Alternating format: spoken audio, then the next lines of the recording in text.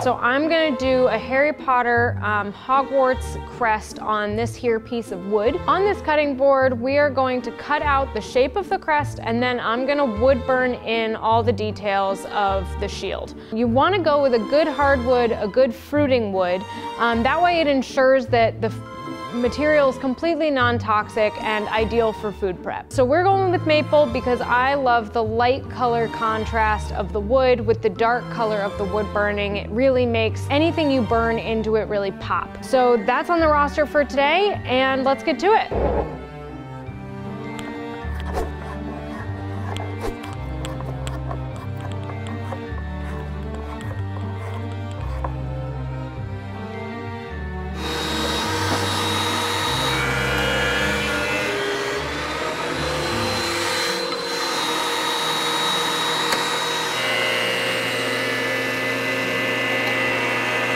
So the grain on this is way too pretty to actually cut off. So we have a ton of curl going all along the sides on the live edges. So instead of cutting out the actual shape, um, I'm just gonna do the full shield on the live edge piece in wood burning because I just can't bring myself to cut off the curls.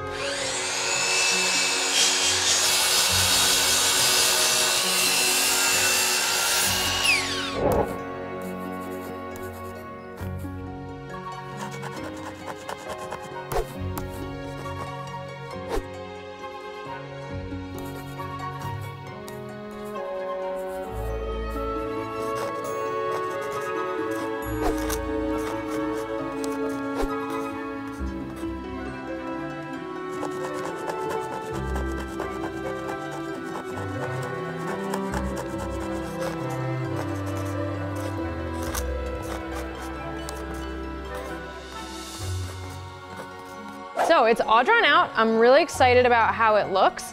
Um, we're gonna get on over to the wood burning portion. I feel like it adds a nice personal touch to what otherwise could be just kind of normal. So it's always good to add a little character, add a little personalization. So I do a ton of this and really, really enjoy it. So I'm gonna get to it.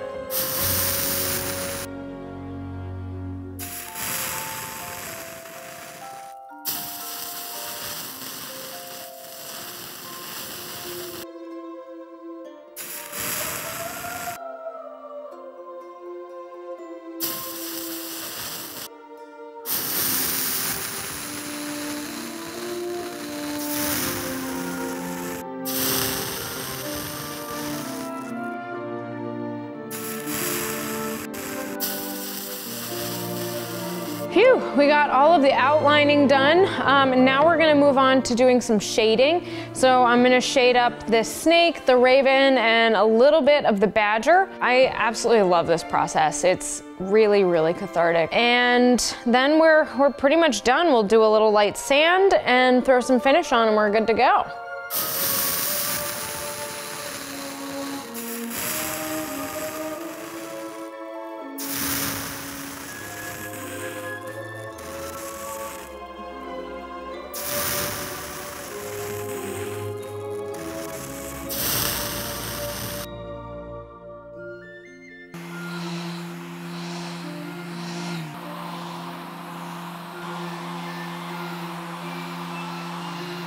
If you're looking for an oil to use that's food safe versus not, you know, pure raw linseed oil is great. You can maintain it by, you know, going to Lowe's or Home Depot and grabbing a cutting board oil um, or a wax, or you can go to the grocery store and pick up some flaxseed oil.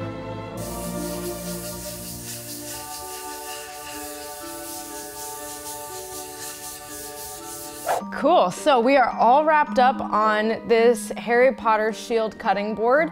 I'm super stoked with how crisp and clean everything turned out. Uh, I love the dark versus the light contrast of the snake with the lion. It really represents the feud we got going on. I mean, look at the curl throughout this board. It's just incredible. So I'm super happy with it. I hope you guys are too. And if you are and you wanna go make one, go do it. I have total confidence. You got this.